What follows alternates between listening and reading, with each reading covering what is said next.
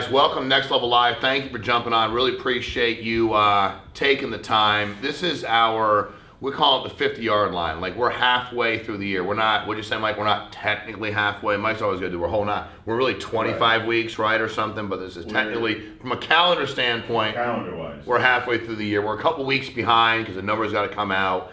But I wanted to give you a review of that and then talk today about something we don't talk a lot about, which is really hiring, getting new agents moving. So if you're selling anyway, I mean, we're always talking about sales. This is the numbers. These are sales numbers. But I really want to kind of get an idea and talk about what people are doing to help build this amazing organization. What really hit me the other day was we could produce, and it sounds crazy saying it, Mike, but we could do we could these vendors could do a million Facebook leads in a week. Isn't that crazy to say that? Like, yeah. like, and it wouldn't be a big deal. It wouldn't be like, oh my God, there's nobody left to talk to. Um, case you haven't all like social media is a, a monster. Everybody's on it. I mean, so so we are. There's so many people out there that are, and I think what hit me this week is I had three or four different things pop up in my feed, which were um, what is that noise, Mike? Keep that down. I, I get so distracted with the noise. Mike knows. It's, Mike. It's just Bill. It's just Bill. Okay, can't be mad at Bill. He's out there doing something. Yeah. But we have soundproof the whole room. I want this to be soundproof. You can't hear nothing. Well, let me know how much it costs first. But right, then we, we'll yeah, let, yeah. Let's just see how much it costs. Um, but really, what hit me was these people are asking, and I say these people for for for donations, like, can you help me? So and so died, and we're trying to pay for the funeral. And it hit me that man, we've not even begun. There's so many people out there because I'm, for me, if I see three or four in a week, with the amount of people that I see on social media, how many people out there are dying with no life insurance, not enough life insurance, or getting sick and being told they can't get the life insurance they want? So you know what I said? We are, we are. For me, I'm like, we haven't started. We could issue 500 million dollars a year, wouldn't be like we, and we still wouldn't help all the people we need to help. So that being said, let me hit on some numbers for you. Our goal is $250 million this year. I said, Mike, we're going to do 100 million in life paid business. Always be, the guy said to me the other day, you know what I realized about my company? They only talk about submitted business. I go, what did that make you feel like? He goes, I quit. Because, well, it wasn't real numbers. He's like, I just, he goes, I want to know how much people are getting paid. I need to know. And he goes, we don't track that. We only track the submitted business. And I gave him the old baseball analogy like, hey, how's your kid? He's good. He has about 140 at bats a year. I know. How is he though at the plate? He got. He's leading the team in at bats. He had 140 of them. Well, you coach, you might just put him up to the plate. I mean, does how many hits he got, walks, how many times he strike out, whatever. So, at the end of the day, for us, these numbers are really important. So it's funny because Mike, when do you remember when? Do you remember when we were issuing? And I'll take October. This October of last year, what were we issuing in life business a month? Probably four million, maybe. It was north of four million, but not very much. Like it was, right. we were trying to get to five, right? We have a legitimate shot the month of June to issue eight million in life business. Right. Legit shot. Now I tell you that because we we are at five point nine one four three weeks in. In the first week, Mike, I think we did like one point three or something, 1.4 the first week of June, somewhere up that one, didn't we? Didn't we? 2.3. I'm sorry, 1.3. That would be terrible. 2.3. 2.3. Then we fell, you know, but 2.3. So if we can do 2.1, we're going to have done 8 million. And, and here's the thing we're just getting started. You know, a lot of folks, they, they, you know, people, I think a lot of people run their business or their lives based on if I have what I have, because here the money's just, and I'm not, listen, we're not non for profit, but the money's just, it's just money. It's just green paper. It's a amount, it's how many people can we actually go help. And since that's our goal, Mike, there's really not an end place for us where I come in and go, hey, Mike, we're good. I mean, guys, let's just try to keep it the way it is. And if we can keep it the way it is, we'll be happy. Let's just not try to screw it up. We have just begun, and a lot of people that we work with aren't where they want to be as it pertains to how many people they've helped, the amount of money they're making for their families, the amount of money they can give back. Um, you know, it's one of those things that when you look at, for us, you know how big a fan we are of the Dream Center, right? And how much, and every time we're able to just go and we don't, you know, and Joanne, our social media person, is like, you need to talk about what you guys do, but we, don't, Mike, we just don't go down every time and go, here's a check, and because we thought like that's we don't want to brag, but then we're bragging. And I tell people it's not bragging if you can back it up, but then I'm a hypocrite because I don't want to brag. Like it's I'm kind of my mind's moving right. I'm like, but then I'm bragging. I don't want to, you know. And we just want to help. It's an amazing feeling to think about what we're able to do and and where we want to go. You know, somebody said to me, "What's your ultimate goal? What do you want to make a year?" I'm like, well, we want to give away ten million dollars a year. You know, what I mean, what do we give away? And we don't need that. What we give away last year? Half a million. Yeah. Like- yeah. and we want to do more. We can only give away so much. We, we still have to like we got to run the company, and you know we like to. There's Gotta in things. business. What's that? Gotta stay in business. We got to stay in business. You know what I mean? And and we're not enamored by people always like tell me all the things that you have over here. What did you buy? I'm like I don't. I'm not that deep, man. Like you had to tell me today to change my T-shirt. Yes. You know, like, is that your favorite T-shirt? I'm like. Well, I like it a lot. You're like, we have T-shirts. Like, if you want to wear another one, you can buy one. Like, I'm able to buy it from the Right. company. Like, you can right over here at the rack. We have them everywhere. So for me, I'm just it's not that deep. But anyway, um, so we're at 40 million with in life business, a little less than half a year. Now 100 seemed like it was so crazy, Yeah. but the rate of growth, Mike, there's no reason we can't be issuing 10 million a month in life. September, October. There's just no reason we can't because we continue to grow at this rate. Contracts are up, issue paid numbers are up, leads are up, opportunities up. We continue to do things we the way we do them, and most of the companies out there continue to do what they're doing. They hold on, and that's fine. Everybody's listen. Do what you want to do. We've been paying high, high comp and supporting you. You know, we have our convention coming up, and we have um, Connie Podesta, right, Yep. and Jr Yes. And J.R. Martinez, who crazy story, like had a had a very um, uh, horrible. Well, I'm, I'm, had a very um, insanely um, violent experience with IED, right, where he blows up and and and the things he's done and the things he had to go through. I've just kind of read about it, watched him on YouTube, and and then Connie Podesta, when we said when we heard she does psychology to say, we're like, that's great. we thought we created it. We realized she's been doing it for a long time. So we didn't steal from her, but we're like, this psychology of sale seems to make sense. It was just what we talked about in our training. But I started listening to her, you're like, man, she's unbelievable. So really excited to have them. And for us, they really fit who we are. Um, with all due respect, there are people that wanted a quarter million dollars and said, I can't talk more for more than a half an hour. Why? Which means I'm only going to come there because of my name. When we're like, but we don't sell tickets. So to get you to come and not talk and not train and not motivate and not empower, you know, I mean, like, Mike, I've seen comedians. You ever watch a comedian and laugh for the next two and a half months? You don't, dude. No. You laugh while you're there, you tell the joke twice, you forget it the next day, and it's over. Your life didn't change. You were just numbed for an hour or two. It didn't change your life, you know. And I think for us, we want to make sure these folks we believe are going to empower the people that come because we don't charge the event. We're not going to charge the event. And with Dave Anderson included, I think we're going to give you three people, along with all the other people we got speaking and training, that are going to empower you. Tom Beckman. Tom Hegna, who's Tom's unbelievable. Yeah. Tom is, I, and I'll tell you, it's funny because when I met Tom, I'm thinking, you understand, Mike, the annuity knowledge I have fits in here, right? You could put it in here and it wouldn't overflow. you know what I mean? So I kind of go like, hey, Roger, why don't y'all figure this out? And then, and then what I love about him is like, hey, Hegna's unbelievable. Let's get him. And I'm like, okay. And I'm not like beyond, Mike, I'll be honest with you. I'm like, all right, it's going to be great. And I'm sitting there hanging on every word he's saying Right. going, I didn't know that. I didn't know that. And you say that? One made me want to leave the event and go start selling annuities that day. Just like when I hear like Brian Mendenhall talking about selling life insurance, I'm like, give me something, give me somebody, give me what do I do? Like if I go, give me some apps. They're like, there's no more apps, dude. It's not paper anymore. Use your phone. I'm like, oh, no more apps. I can't. I don't have to carry the bag. So my point is this: we're very excited about that. It's in line with who we are. I want to hit on some numbers really quick, and then get into our training today. We actually have. I mean, these are career totals. I don't want to, but we have. You guys, again, you know that I can read you through all the numbers. We have a couple people over two million. This is career. Matt Matthew John is at two point six Amy M's at 2.2.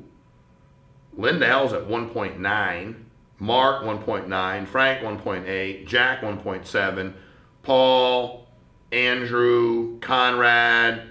You're like, what about a lot? You all know who they are. They work with us. you know anybody selling two million. You can almost have one name when you're doing a million a year. You don't have. It's kind of like you can be entertainers like Prince. I can just have one name. I don't need two.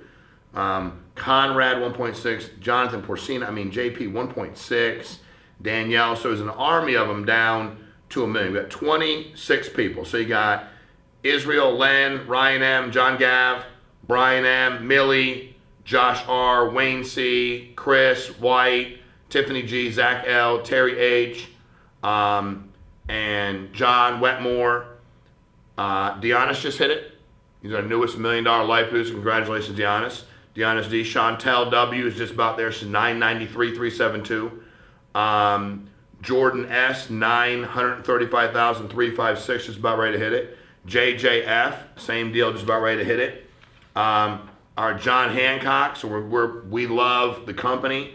We think that the Vitality product is a great fit in certain situations. I think every product's got their own niche. It's a nice deal as far as um, you know adding on. When I think Paul McLean sent the best email ever the other day. He's like, "Hey, we've been selling like 250 grand CBO, and then or 150 grand CBO depends on what the death benefit they need and what the mortgage amount is, and adding the Vitality on as an extra because I get more death benefit over here, and it's not a full 100% return of premium, so it's cheaper. So I can give them this and that. And I was like, wow, that's kind of brilliant. When he wrote it up, I was like, you can see it, put it on social media.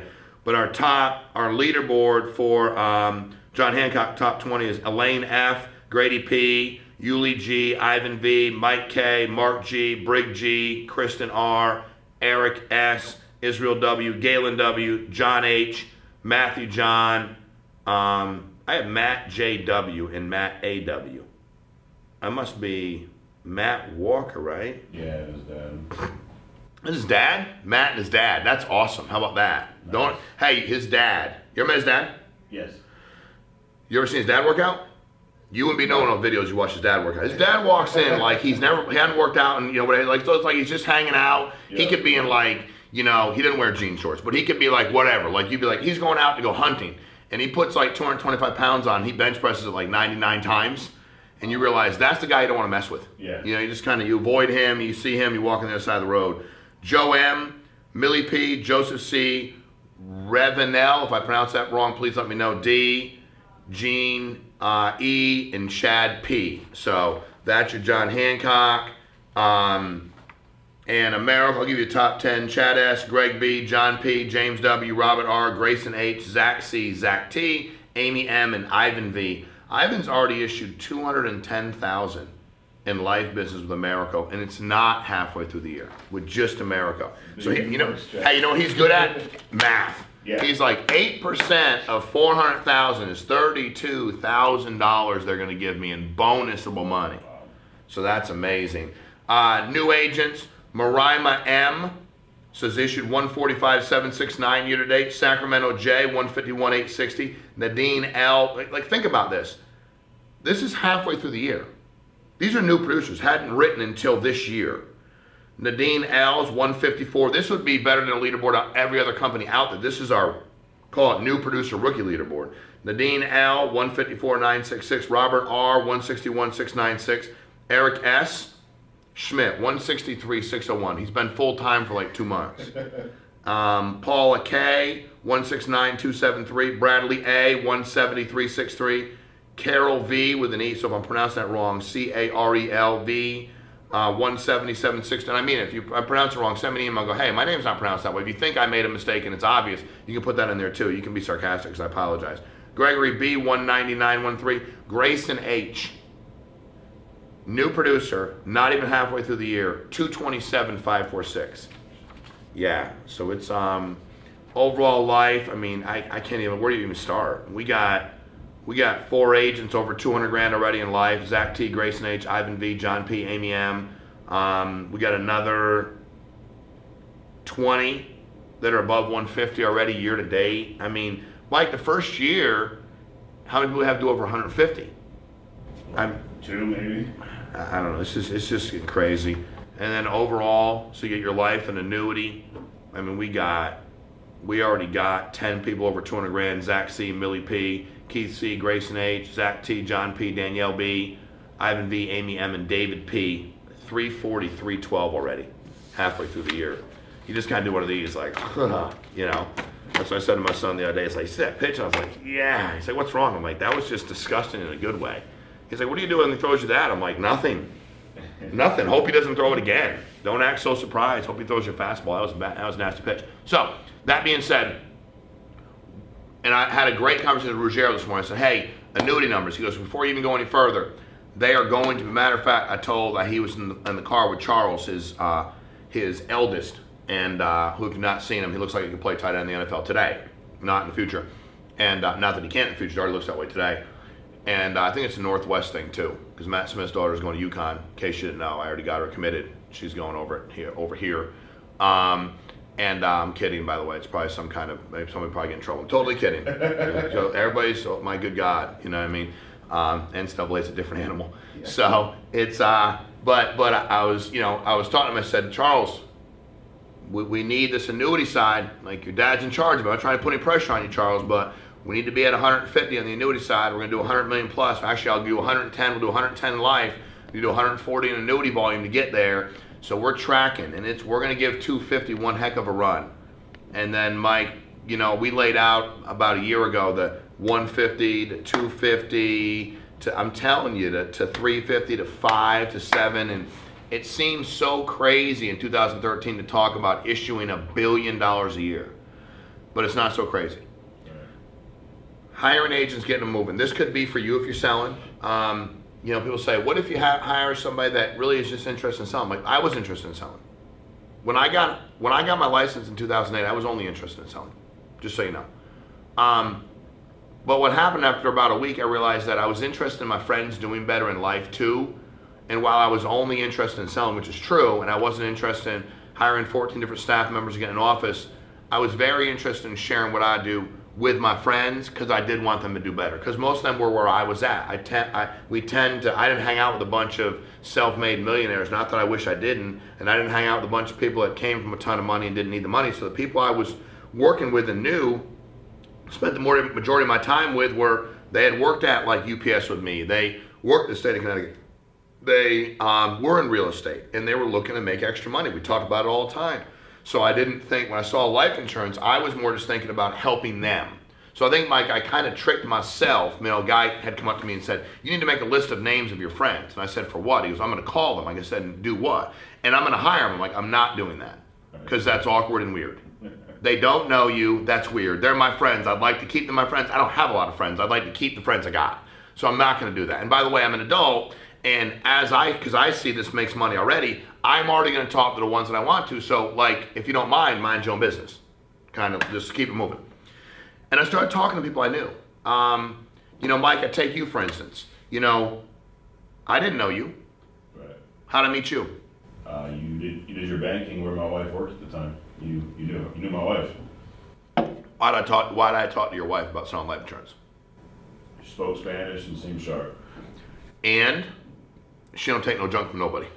True. So I was like, she's smart, she speaks two languages, and heck, she's going to understand the blue collar clients we got. She'll be upfront and direct, and I don't think she's going to be concerned if she's telling them the truth. I think if they're they need the life insurance and they're not going to make, I think she has no problem saying you need to have this, and here's why. I, I felt very comfortable with that. So for us, that's how. And and then she brought you. We I was doing a training meeting, which I invited her to. Right. How excited was she about something? Even before the meeting, did she have any interest in selling life insurance? Do you believe she might have? A little. I mean, she had interest in doing something different. There you go. The bank was just not cutting it, and she'd been there for probably three or four years already at the time, and realized you you couldn't work your way up like they promised you, and raises were very small, and just the way they treated everybody, she wasn't happy there. So she wanted to do something different. And when I talked to her while I was sitting in the bank line, like I always try to wait for her because she's sharp. Not all of them were. No. and doesn't make them, but I was like, kind of like, it's just a deposit. Right. And it wasn't like I had a lot of money. It's like, it's $89 or like I'm cashing a check for 104 bucks. Can I just get my money? And, and, you know, I remember saying to her, I have no idea if this is for you or not, but I know that you don't seem content doing what you're doing here. And she said, I'm 100% not. I said, and then at that point in time, you should start to figure out things that you think will help you change that because this isn't working for you. It's not working. And she's like, no, it's not working at all. So, so I think she was open-minded enough to know exactly what you said. I don't know that. And, and at the end of the day, do, did I analyze her or rate her on? I just knew that she, uh, she was a good person and she wanted to make extra money. That's it. It's all I knew about her. I was like, I like her. She seems like a good person, and she's not happy doing what she's doing. So why would I not share what I'm doing? Because they're paying me. Yeah. Is it easy? No, it's work. Is there other ups and downs? Yes, there are. Is everybody going to be insanely successful? No, it's like anything else in life. Everybody's not going to be. But I shared it with her, and then she brought you to a meeting. We met. You decided you waited a little bit, got a license. My point is this.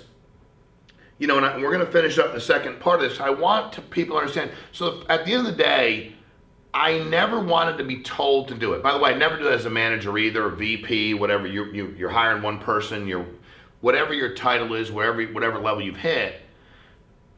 I don't tell adults what to do unless they ask me to tell them what to do. I don't do that. I don't go like, by the way, you need to do this. Now, if I just walk by and you go, how you doing? I go, good. And they go, hey, can I ask you a question? Yes. That means you want me to give you advice on something. And if, and if I give you advice, I go, you know, do you mind me telling you what I would do if I was you? No, please do. If you go, no, please don't. Like, I'm not mad. I go, all right, cool. I just offered it to you. I'm, I, I don't know everything. I ask people how to do stuff all the time. Hey, how'd you do that? How'd you get that set up? How'd you buy that building? How did that work? But what did you do with the leases? And how did that work? I just, can you educate me more? So for us, it was I shared it with anybody that I knew that needed to make extra money. That was it. The only barometer for me, Mike, was do you need to make some extra money? Or, or do you want to change your situation because you don't like the way you're being treated or you don't have control of your own time? I think to stay with your theme, I think Christina didn't enjoy the way she was treated at the bank. I think that they, it was, in my opinion, watching it was a very like dictatorship kind of deal. I'm in charge. That's why. And you'll do this. And if you're late, one, I mean, it's just, it didn't seem enjoyable. Right. Now, does it mean work's supposed to be so unbelievably fun? You can't hate it. You know, people say, you don't sleep a lot. I love what I do. By the way, when I used to work at companies I didn't like, Mike, I did sleep a lot. I wasn't excited. I'm like not a delusional, like I've only always slept an hour and a half a night. If I didn't enjoy doing it, Heck, laying in bed was better than going to work. I happen to want to get up at 4.30, 4.15 because I love what I do. I happen to want to stay up at night like working, thinking, talking about it and, you know, still doing stuff with the kids, whatever, but because I enjoy what I'm doing. We're making a genuine difference in people's lives. That's enjoyable for me. I like that. We have the ability to quadruple our sales force and Mike, I, before I transition, I'll tell you this.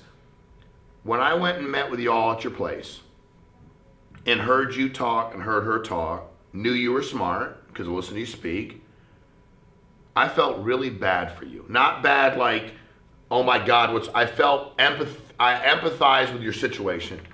You're a young couple didn't know how to make didn't know how to make go of it.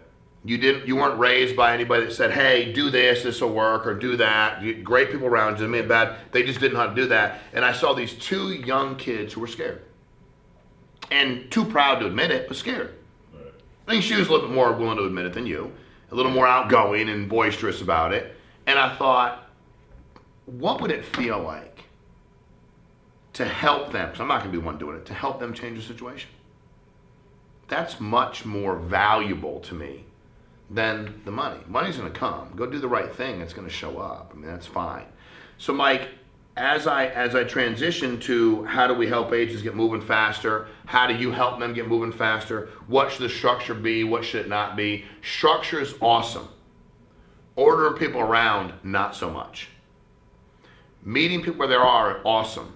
Trying to make somebody do something they didn't ask to do, not so much. Discerning between the two of them is how you will have a very big business. You'll make a massive impact on people's lives, and you will make a lot of money. And there's nothing wrong with that. You choose to give a lot of it away, I think you'll do better. I don't think there's any coincidence, Mike. We started giving away bigger checks, Dream Center, everybody else, probably about October. right. I'm just saying, like we started to give a lot more money away, and we had to make more money to, to continue to give money away. And I just, I think the correlation makes sense. So now transitioning to how do we pick who we're working with and how do we get them moving faster?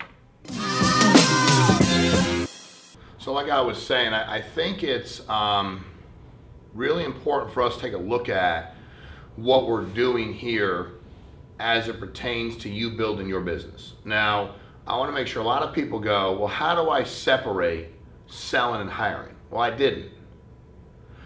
And I didn't because I didn't think, I think selling, like in, in sales, right? What do I need to do? I need to be on the phone enough and make my 30 appointments a week. That's it. Make my 30 even if I'm not crazy good yet, uh, 20 of them are going to be there. I'm not crazy good yet, I'm going to close 10 of them. I don't care who you are, what part of the country you live in. You got yourself a life insurance license, you have leads, you spoke to 30 people, you're going to have 20 of them there, and you're going to have 10 of them you're going to close. Yes, there might be a given week that something happens on occasion, but there's going to be weeks where you're going to have 28 of them there, and you're to close 24 of them. I mean, but a, you're, you're not to have an average below 30 booked, 20 met with 10 closed. You're not going to. If you're working, you're not going to. If you're giving them a shot and you're putting them first, you're not going to. So we know that. I think that the hiring part for me, I never stopped selling to hire. I think a lot of people like think it's some activity that they have to make it so bifurcated. I don't think that it is. Mike, when I talked to Christina, I was walking in the bank to make a deposit. It wasn't like I didn't stop my day and go, now I'm in building mode. Let me let me get in building mode. I mean, there are companies that back in the day did 35,000 applications a week, didn't have leads, and didn't do any recruiting aside from warm market. Am I a believer in warm market recruiting? You better believe I am. And I'm more, I'm a believer in it first and foremost because the people I knew, Eric Anthony deserved a chance. He worked 70, 80 hours a week at a company. He got paid a wage that got him by. And he missed out on a lot of stuff with his kids and wasn't making the money he wanted to make. He deserved a chance. Eric Schmidt, same deal, six days a week, deserved a chance. Matt Walker wasn't making the money that he needed to make, had a couple kids, quick, one wife, wanted to make more money, and in the situation he was in, he had zero chance, like what he was doing for a living, to make that kind of money.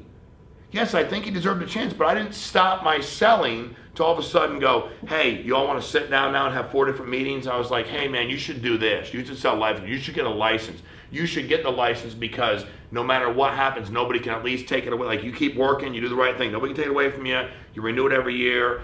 As long as you do everything you're supposed to do and always treat the clients right, you'll be fine. So why don't you get the license? If nothing else, you'll be educated on it. Why don't you just get the license?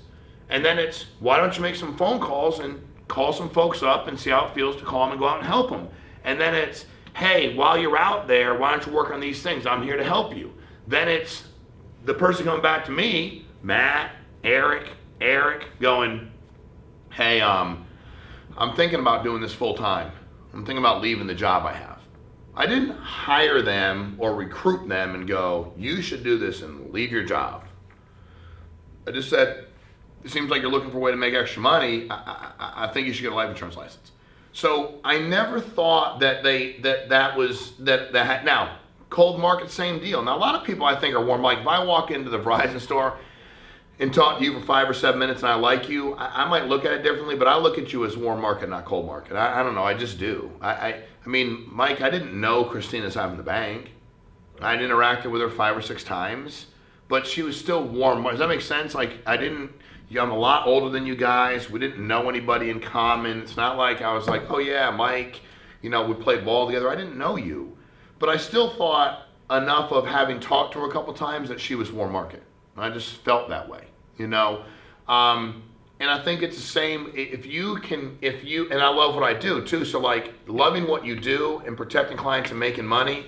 For me, I just didn't know a better way to do to achieve what I wanted to achieve in life. So I think you never do. So, so a part of it is, you know, how do I find the time or how I'm selling? I, well, you're always hiring, and, and my sales always came first, right? By the way, my sales always came first in regards to everything, meaning it's how I took care of my kids. It's how I take care of my kids. So, like, for me, I never was like, well, wait a minute, this is going on personally. It doesn't matter because I have to, I have to do my job. I have later in the night, earlier in the morning the next day if I'm out in the field to handle that. I, I can't, unless it was emergent about my kids at that moment in time, it didn't need to be handled. It didn't. It was, I put that all to the side. I didn't need to handle that. So I don't try to juggle all these different things. When I was, you know, Mike, when you went in the field and I was still selling full time, if you called me and I thought it was advantageous for me in my appointment to take the phone call, I would. If I was in a good place at that moment in time in my appointment, like it was going good or moving to closing, I'd answer the phone and put on speakerphone. Say, hey, Mike, I'm on. No, you're on speakerphone. Not that you're gonna say anything wrong, but you're on speakerphone. I'm sitting here with uh, with Tom, with Susan. They're a great couple. Um, I told them you're a newer agent. I'm trying to help you. What's up, bud? I didn't care. I had no problem. But if I was in a place where I was talking to Tom about his family and it was maybe getting a little bit emotional and maybe I was pushing a little bit, he was kind of pushing back, I didn't stop my deal right there where I needed to continue to do what was right for that couple to take your phone call. Now you might go, well, you should have. Well, which I know you did, but you should have. No, Mike. Um, hey, you're an adult. Be and, and I'm here for you, bud. But a lot of times early on, what do agents early on? Why do agents call the person they work with most of the time? I don't even know. To ask a question they usually know the answer to. Well, that, and that's a good answer because you're like, I really don't. It's I no think reason, when I think when you called me, it was you want to know it's gonna be okay. Not that you're a beat. Yeah. You want to know it's gonna be okay, right? Maybe you didn't close three or four or five in a row. You wanted to, you want to talk to somebody. You just wanted a voice, Right. and I'm good with that. Except I didn't take away from my sales. If I stopped right then and there, when I was at that point with Tom, and took your phone call, all of a sudden, Tom can. We used to always say at the state of Connecticut. My boss. Remember when I first started, I was 21, 22. He said, Shawn, when you get called out, you'll be doing what they call an investigation. Something will have happened, and you will be called out to the house, the hospital, the police department. You'll go out there. And that initial interaction with them, the ability to get information will be a hundred times more than once you go home, come out to the office tomorrow, and meet with them the next day, in two days, and five days, in a week. Because they're in some kind of crisis mode at that point in time.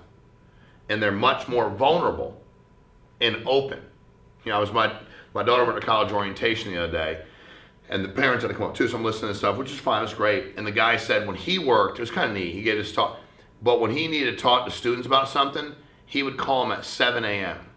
And he said the freshman year, kids don't know any better, and they think like the principal's calling, so he'd be calling from like student services. I need to meet with you today at 12. And they and now if you call a junior in college and say they're like, I don't need to do anything. Matter of fact, you can't even talk to my parents about anything, so I'm just here, bro. I but the freshmen are like, okay, and I and somebody's like, why do you call them at 7 a.m.? He's like, they're not on their game at 7 a.m. They're tired. They're like, uh huh. You're like, Mike. And you're like, yeah. Hey, Shawn, student services, man. Hey, I need to see you today at noon. You're not on your game. Noon, I call you at noon. You might avoid my phone call. I might look and see what they. So, so for us, for me, I couldn't take away. My client was in that place where we had cracked some kind of emotional barrier. I didn't stop that. That's that whole flying an airplane, oxygen goes on you first. I got to take care of what I need to take care of. It's how I feed my family. And Mike, if nothing else, it also teaches you to sometimes just get through. And then sometimes what you do is you answer your own question. Yeah. That I'm not saying we don't go. Of course, we help any agent we we should be, but it's also okay to go. Hey, Mike, let me run something by you. Can I ask you? Did you know the answer to that question, Mike? Can I ask you? I mean, in a lot of it, sometimes you just want to hear that. Hey, bud, you're going through stuff I went through, man. It's gonna be fine. And sometimes you didn't say it to me. I just knew you were thinking it, so I said it. Right? Um, we when we looked at the organization we're building and how fast we built it, and again, I still believe, Mike, I never was the here's my list of people, hire seventy-two thousand of them. Guy was like, if you hire X amount, you'll move your level up. And I go, what about my pay and their pay?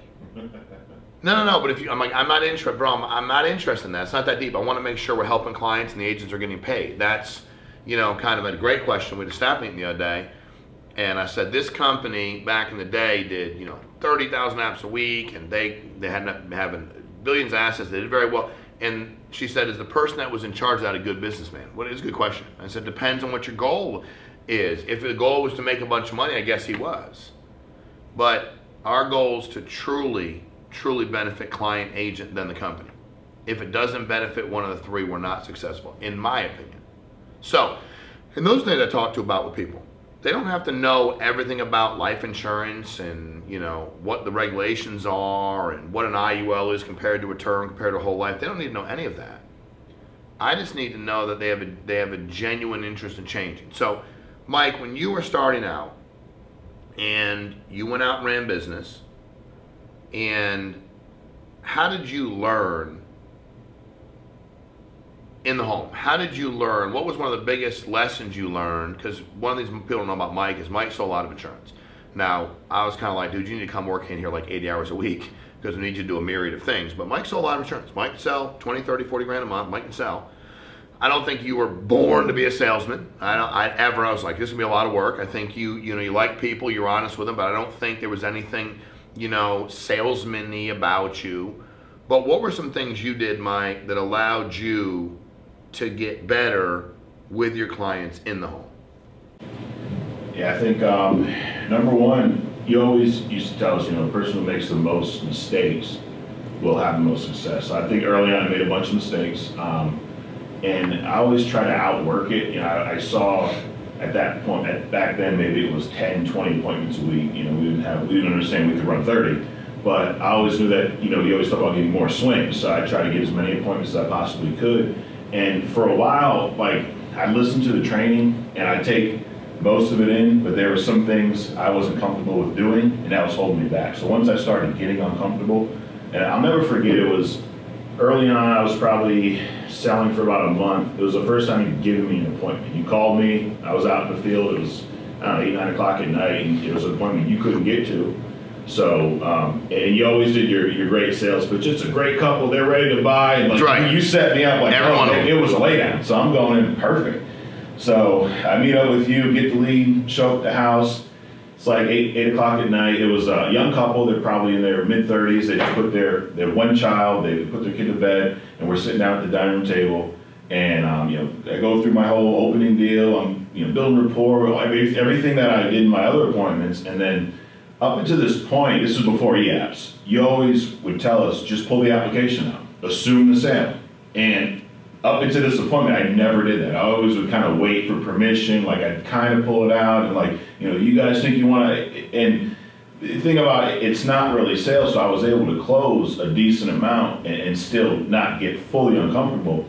But I knew, knowing you long enough at that point, that if I didn't close this appointment, you weren't going to give me any more appointments. Like I, and so I, I got, I understood that, and I remember sitting there and, and the wife, you know, I showed them the three options, and they had, you know, two hundred thousand. It was your ideal mortgage protection appointment. And I remember getting to the point um, where I knew I, I should have pulled the application out, and then the wife starts with, you know, do you have your business card? And I'm Yeah. like, oh god, here we go. you know, because we never do anything the first night, and we always think about it, and and then I remember just looking at my bag, and I was like, probably as red as my shirt, and I just pulled the application out and just said, yeah, what's your middle initial?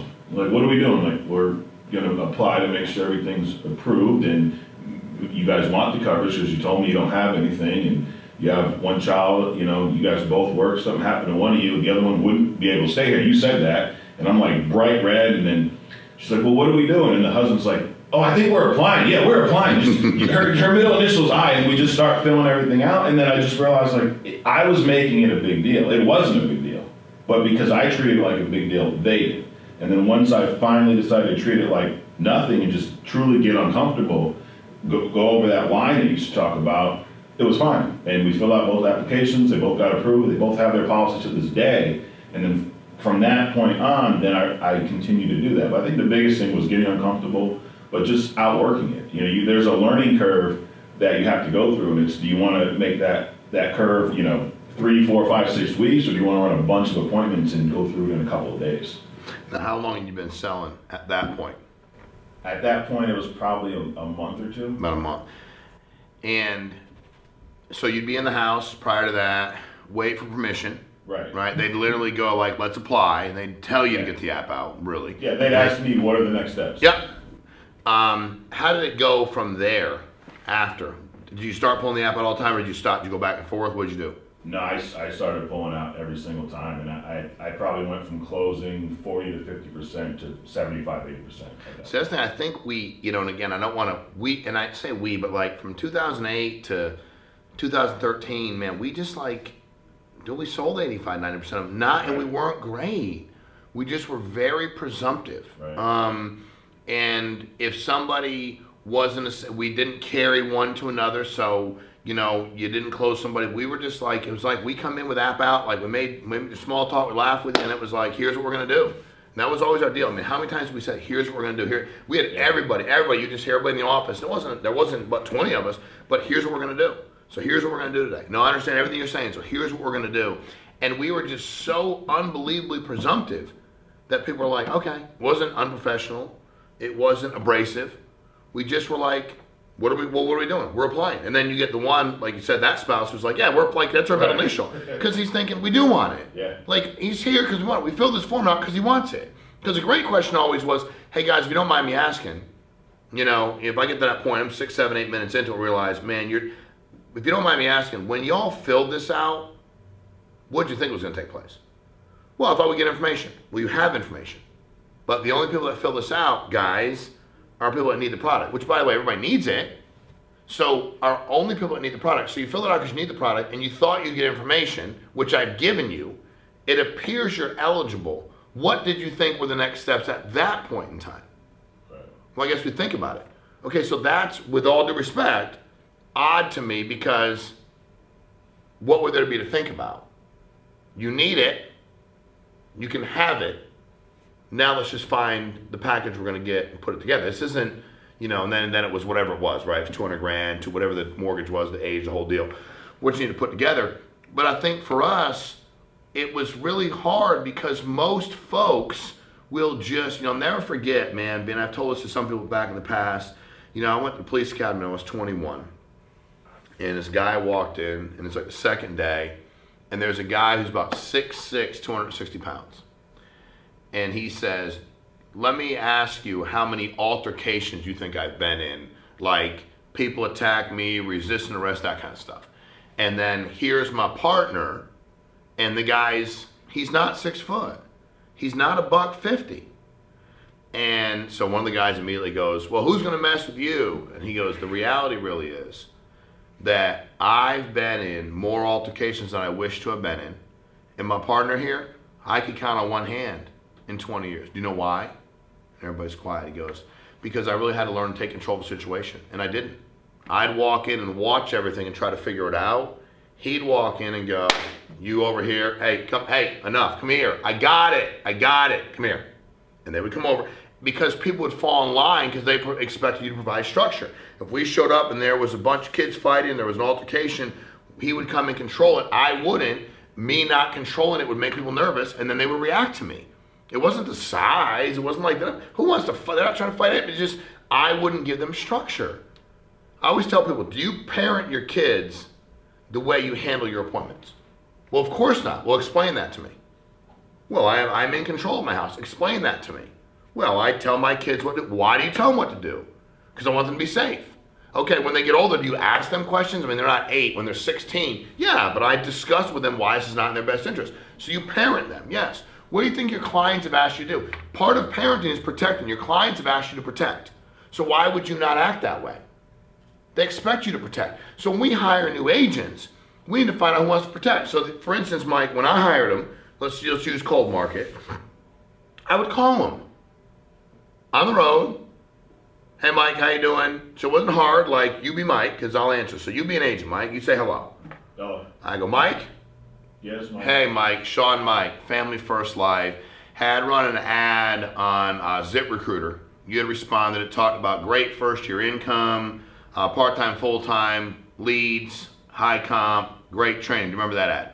I do, yeah. Outstanding. Do you have 10 minutes or so? Probably want to take that. You got five, seven minutes, Mike? Yeah.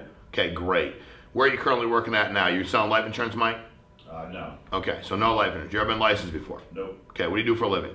I build houses. Build houses. You build them like you're the GC. You build them like you're the guy framing them, plumbing them. What's what do you do? A little bit of both, depending on the job. Okay. Do you own the company you work for? No. Okay. How long you been doing that for? Uh, about 10 years. Got it. If you don't mind me asking, what's been your best year of pay so far? Uh, 50,000. Fifty grand. Wife, kids. What do you, What's your situation? Wife, two kids. Got it. Wife, two kids. All right. Wife work. No. Got it. So she doesn't work. So you responded to that. What was the number one reason, Mike, just out of curiosity, you responded to the ad? Not about us in general, but just the ad. Just Why you? the, the amount of income. Got it. Okay. You do know this has nothing to do with hammers and, and micrometers and Correct. that makes you happy. Yes. Okay, got it. So this is not a like getting your hands Nah, dirty. Been building houses too long. It's it's time for a break. Got it. Let me tell you, Mike, real quick what we do. Uh, You know, we're at a company called Family First Life.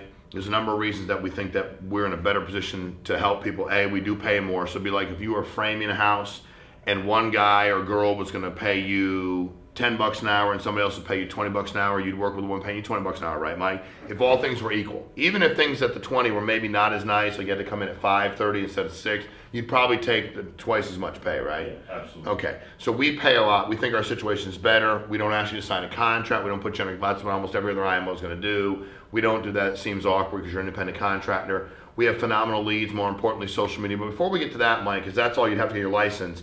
Um, you'd have to guess you go online and get your license. Would you be able to make time to do something like that? Yeah. Okay, so it's not very difficult, Mike, but you do have to study. You have to go get your license. And all we're looking for, Mike, is people that genuinely want to help people out. I'm going to send you over a couple trainings so you can watch real quick. Um, you know, if I asked you if people like you, you're going to say yes. It would be weird if you say no. We're going to learn if they do. A lot of our clients, Mike, are very much blue collar people that work really hard for their families. Their job is to protect their families, whether it's husband, wife, grandma, grandpa, aunt, uncle. They're trying to protect either their mortgage, Mike, so if they if they were to die to make sure the house stays in the family, or they're trying to pay their funeral expenses. Sometimes they're trying to do both. We only call people, Mike, that have asked us for help. We don't cold call. Does that make sense? Yes. Okay. So we don't expect it to be hard since we don't cold call. Okay. Okay. So what I'm going to do, Mike, is we, we pay for you to get in get class. But Mike, before I send you a voucher to get in class, can you do me a big favor? Sure. How old are you, Mike? Um, 36. Okay, so I'll be hiring you as an independent contractor. So I can ask you how old you are. I ask you how old you are. You're 36 years of age. Mike, I'm 46. Um, if you don't plan on getting in a class and it just sounded cool to respond to an ad, can you tell me now? Yeah. No, that's not the case. That's Okay. not how I respond. Well, I'm saying you understand it's an extra Right. email, people just Okay. don't tell you. Like if you were building a house, and I bring everything back to what he knows, just like I do with a client. Like if you're building a house, and I said, eh, you know what? Why not? And then you you built this dormer, and I go, I don't want it. You'd be pretty upset with me yes. because I'd go, I didn't want it. You're like, yes, you did. I'm like, I told you. I just rather have you go, dormer will look like garbage. Don't put it on my house, right? Right. And if you show up and I don't want to use you, you'd rather have me tell you that than have you work for three days and tell you I'm not going to pay you. Absolutely. That would really upset you. You'd much prefer me go, hey, I, I decided to go in a different direction. Now you might go, well, I drove out here. I'm like, but you didn't start working. Would you prefer? I, I, I'm telling you up front, Mike. I'm going to. There's a crew coming in in an hour. They're they're they're going to build this house for me. So I mean, so Mike, I really I'll send it to you. I'm not going to call you every day, ask you how class is going. Let me give you an idea, Mike. It's not going to be the most exciting information you've ever studied. It's not that boring, to be honest. I thought it was pretty interesting, but you're not going to be entertained like you're watching your favorite TV show. But you're going to have to do it. It means you're going to set some time aside at night and get it done. The longer you wait, the longer, Mike, you're going to be working the job. You're working 50 grand a year. But do me a favor, don't complain because you have the ability to go change it. This is very simple. Our average agent makes over 100 grand a year, and they're not. We're surrounded by a bunch of men and women that aren't like the most amazing salesmen, where they're great people, but they don't have these like, oh my God, I can walk in a room and sell anything to anybody. They don't.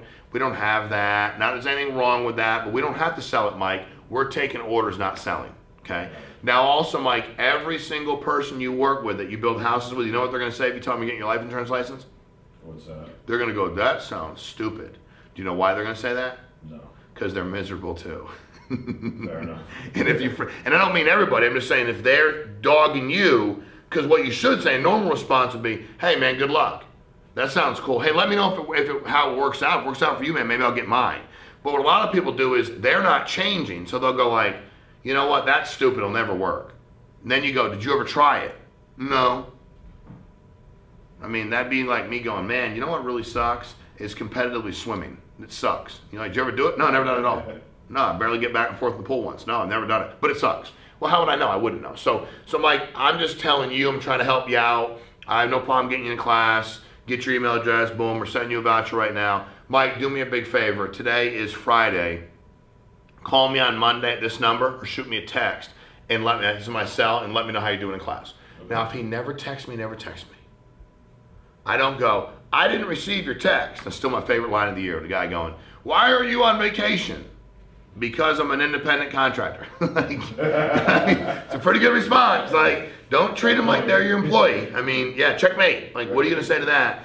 And I think we learn from that, though, right? Like, it's it's at the end of the day, I'm not trying to make anybody do anything. Now, Mike, if I talk to 10, 12 people in a week and put them in a class, and two of them text me. Now, the funny thing is, we have guys and girls that are call. I just work with those two. Right. I don't smother them. I don't call them 15 times a day, and I just and I do the same to my warm market. You know, and I don't go like, well, I put him in class, but he's never going to do it. Then why'd you put him in class? What are you saying to them? Take control of this if they're contracts. So now, Mike, if you're a contracted agent, you can be company ABC, but I call you up, you say hello. I go, Mike, it's Shawn. You respond to my ZipRecruiter ad or whatever other ad you're all running, or you found me on social media. You reached out to me. I'm getting back to you either way. Mike, it looks like you're in the insurance industry now, correct? Correct. Got it. How many years you been in the business? Uh, seven years. Okay, seven. And how old are you, Mike? If you don't mind me asking. I'm 33. Got it. So I've been around seven years in the business. Um, let me ask you, number, number one, what was it about, since you've been in the business, what was it about us or the ad I ran that was attractive enough for you to respond? Um, talk about leads and, and high comp. So right now I, don't, I'm struggling to get leads and I could always use a higher comp. Got it. Okay. Give you a little background on us. Um, you know, the, the leadership team that built the company, been salespeople at their core. Um, you know, have always run it. Matter of fact, you know, I was just talking. So I, if it's me, if somebody else talking about me, the company doesn't matter. I sold a bunch of life insurance, so I run the company. But you know, if it's going good, I'm, I'm, you know, I'm in charge. If not, no, it's always the opposite. If it's going great, y'all, you're great. If it's bad, then we'll fix it. It's my fault.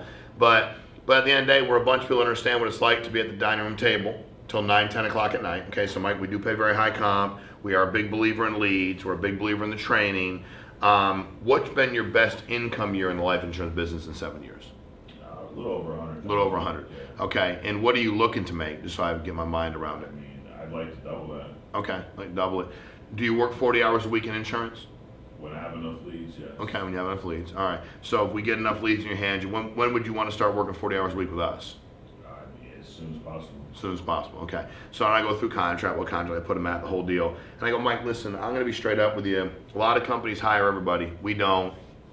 Um, just what would be what would make me feel real confident because you understand there's responsibility and liability for all of us. What would make me feel real confident about you as it pertains to our clients? What is something that uh, about you or the way you interact with them? What is there something that this is kind of where you're kind of selling me on why i want to go ahead and get your contract and start working with you. But give me a, one or two things about you that at night i can go man i feel good about having mike in business with me because he does x I just, you know, I, I believe in life insurance. I, I've lost family members and didn't have life insurance, so I, I seen what that does to families. So I love what I do. I love sitting down with a family and knowing that when I left that house, I put them in a better position um, than they were before I got there. I just want to be able to be paid what I feel is, you know, adequate for what I'm doing. Fair enough. And I think a lot of, do we get that? Yes. Now we also get like, everything in the world's terrible, this Right. business. And I go, okay, well, what was it about you where you're at? So if Mike said, man, my best year is 30 grand and nobody makes money there, I'd go, I know the company. Somebody's making money there, Mike. So if you don't mind me asking, how many we, well, when I have leads, then I kind of give the, I had a guy say this to me one time in real estate. I said, you know, it's about impossible to make money doing this. It's hard to find listings, I said. Everybody's worried about because then in real estate for our office it was all about how many listings do you have, right? They have this leaderboard of listings, and guy Frank looked at me and said, if there was a gun to the back of your head, and Gail, who was our manager, said, we're going to pull the trigger if you don't get 20 new listings a month. Would you ever miss 20? I said, of course not. He goes, what do you mean, of course not? I said, of course not. I would never miss 20. No, of course not. He's like, so it's very reasonable. Yeah, it's very reasonable. It's feasible. Yes. So why can't you act like your life depends on it within reason? Because he said your financial life does depend on it. And it never, that never escaped me when it was like life insurance. I mean, we didn't have leads either when we started. Um, when we started 10, 11 years ago, we didn't have any leads. We just made the best of it. We sold people, we called people, we door knocked people. I mean, we, you know, if you fill out a lead in your neighborhood, buckle up because we might knock on these doors over here and go, hey, your neighbor had fill this out, can't give your information, but you're going to get one too. I'm just, I'm here earlier. You want me to take my shoes off? I think we started with the whole, you want me to take my shoes off? We don't have leads. Like, we got to get in the house. So we had to ask them something, you know, like, would you like me to take my shoes off? How about being presumptive? And that's weird too. people just like can't, you know, that was my door knock, you know, you'd answer the door, I go, hey, Mike? Yeah, who? Hey, I'm Shawn, Mike. Uh, Christina's here, right? Hey, Mike, you fill this thing out. Man, been hard to get a hold of you. We're worried about something, worried something happening. You want me to take my shoes off? I mean, I'm there. Right. And most of the time, what they say, don't worry about taking them off. Right. yes, please, thank you for asking. I did the same. Uh, if I didn't, my mom would smack me back of the head. I kind of put my hand back because my mom was behind me. I didn't ask you, whack real quick. Like I just talked about, and it was the same stuff, which is all like I am supposed to ask that. My mom would be very upset, and she wasn't afraid to hit me. So like all that's true, but at the end of the day, it's the presumptiveness we need to hire and build with the same presumptiveness. Why do our agents, why are they so good at being so presumptive? And also, if that 10, 15, 20% of their clients, whatever percentages, some are close 90, some close 50, if those people aren't going to buy something, why are, Mike, why are they so comfortable with it? Why does Ivan know that if Tom says no and he finds out in seven minutes, why is Ivan 100% fine with, I did, as long as he does his best, asked him, pushed him, he leaves, why is Ivan okay? Because He's got 29 other appointments. We got 29 other appointments. we got plenty of leads. Hiring's the same way. Could you imagine some people, their hiring would be analogous to selling if they took the one client that said no and tried to, because they liked them, like the client said something nice, like, you're the nicest person ever, Mike. And if you give us our business card, and then can you imagine they stay there for two and a half hours talking to those clients? They never sell anything. We have people that do the same, the hiring side, they go, I don't like this guy. I'm like, why? He was really obnoxious. What'd he say? Well, he said, I'm really good, and I saw your leaderboard. It's going to be the top one. I'm like, did you hire him? Sounds like a good guy to hire. I'm pretty excited. Would you rather have him go, You're the best person ever in the world and I can never be as good as you? I'm not looking for that. I'm looking, as long as he wasn't like cussing you out, was being respectful. So I think on our side, as we're halfway through this year, we're at the 50 yard line. You see our numbers us going to 250 million, us looking at 350 next year, us thinking about becoming a billion dollar company, we can't have limits. We can't have a ceiling. I don't know what the ceiling was. What's the ceiling? I don't know what it is. And I'm not being cute or flippant. I don't know what it is. If we're doing the amount of volume we're doing with a couple thousand people, what can we do with 50,000 agents? And if there are millions contracted, what is 50,000?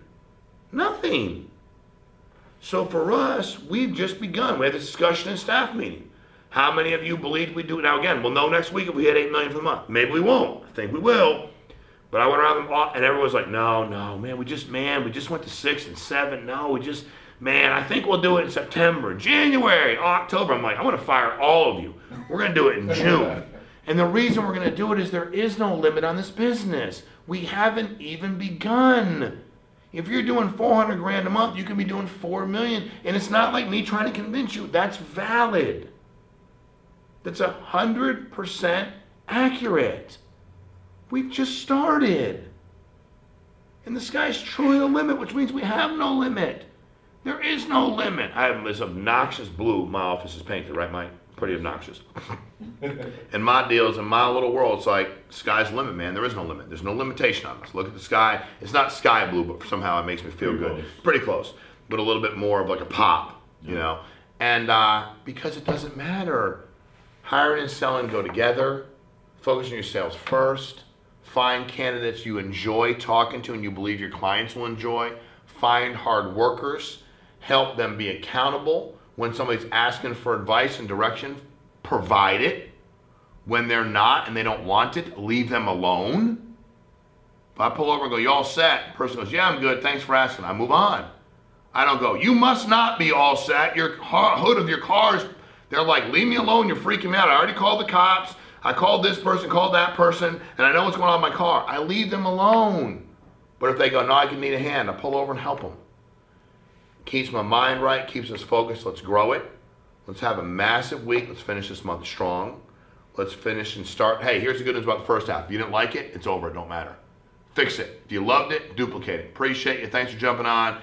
Thanks for everything you do. Thanks for helping so many families and serving. And uh, I love what we're doing here. And we are certainly all in the rest of this year. And we're going to absolutely blow these numbers through the roof because we can. People deserve it. Y'all deserve it. So appreciate it. Thanks for jumping on.